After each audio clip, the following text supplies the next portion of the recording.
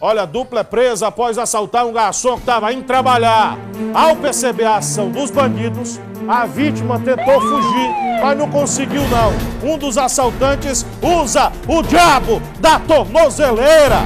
Os dois praticavam roubo usando uma motocicleta. Rapaz, pelo amor de Deus, eu me pergunto, por que diabo e para que diabo é que serve uma tornozeleira eletrônica?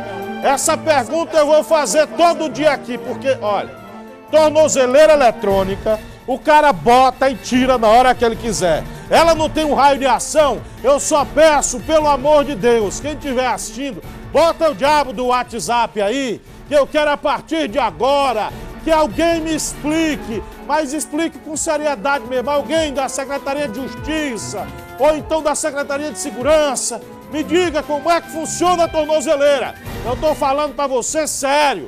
Eu estou com uma dúvida de saber como é que funciona, porque eu não sei.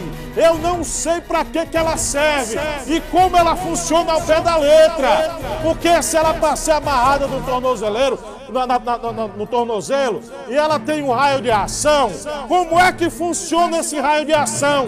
O cara ele tem a liberdade de roubar nas proximidades da casa dele, o cara tem que ficar só dentro de casa, o cara tem liberdade de ir numa padaria, a tornozeleira eletrônica vai acusar ou não? Essa pergunta eu me faço e eu quero que alguém me responda para que é que serve o diabo da tornozeleira.